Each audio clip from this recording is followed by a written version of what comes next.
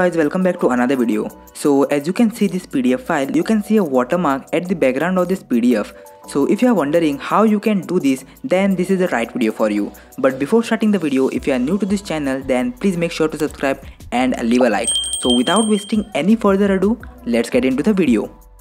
So the first step is open your google chrome or any browser on your mobile phone and go to this website now if you see at your left corner then you can see all tools option. Just click on all tools and the first option will be watermark. So open that watermark option and there you can edit your pdf files.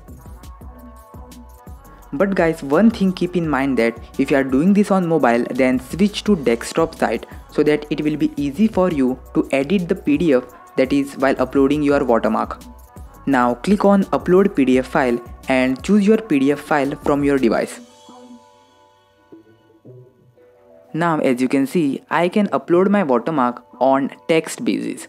So here if I click on this, then you can see I can edit or you can see I can move that text and here I can edit that text that is I can put my name as a watermark there.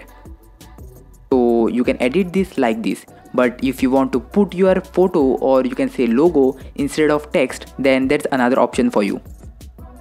So as you can see if I zoom in then here there's one option add image. So click on that add image option and choose your logo or photo from your device and upload it there. And it will be uploaded as watermark behind your pdf file. And this is how it is gonna look like and as you can see in the right side you can see many editable options from where you can edit according to your liking that is capacity rotations etc so do it as per your wish and as per your likings. After that just scroll down at the bottom and there you'll see one option watermark pdf so click on that and click on download pdf and it will get downloaded into your device and that's how you can put watermark into your pdf files easily without using any pc or without using any application on your mobile device. So if you like this video then do give it a like and make sure to subscribe. Let's meet you all in the next video. Till then stay safe